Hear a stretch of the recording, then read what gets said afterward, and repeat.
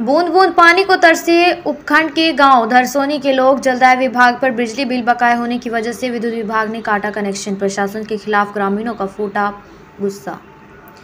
उपखंड के गाँव धरसोनी में करीब एक महीने से बूंद बूंद पानी को तरसने को मजबूर हुए ग्रामीणों ने पंचायत समिति सदस्य, प्रतिनिधि व युवा नेता ब्रजेंद्र उर्फ़ बंटी आज़ादपुरा के नेतृत्व में ग्राम पंचायत के सरपंच, प्रशासन के खिलाफ विरोध प्रदर्शन किया। वहीं ग्रामीणों ने चेतावनी दी है कि अगर प्रशासन ने दो दिन के अंदर पेयजल संकट की समस्या हल नहीं की तो समस्त ग्रामीणों के द्वारा उपखंड कार्यालय पर सरकार के खिलाफ धरना प्रदर्शन किया जाएगा। पंचायत समिति सदस्य कश्मीरा, ब्रजेंद्र बन, उर्फ़ बंटी आज़ादपुरा ने बताया कि गाँव धरसोनी में करीब 200 घरों की बत्ती पर पीने के पानी का बड़ा संकट छाया हुआ है। यहाँ के लोग बूंद बूंद पानी को तरस रहे हैं। इधर सरकार की योजनाओं को दरकिनार करते हुए प्रशासन इस ओर गंभीर नहीं दिखाई दे रहा है। उन्होंने बताया कि इस गाँव में सरकार के द्वारा पेयजल के लिए आठ हैंडपम्प लगाए गए हैं, लेकिन वे सभी कई महीनों से खराब पड़े हैं।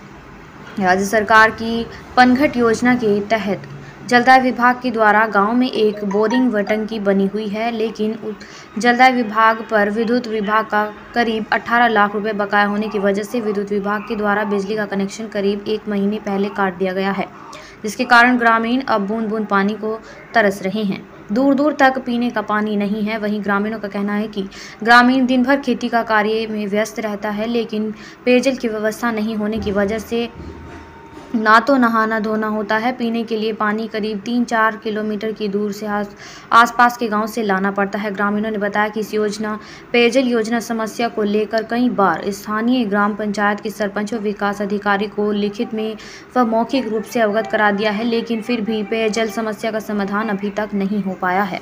हम तो बड़े बूढ़े तो टक, टकरा रहे क्या कहते ना नहाए है गए धोए है गए पानी के बारे में बोलो। पानी व्यवस्था कतई नहीं है और पानी व्यवस्था करे तो कर दे नहीं।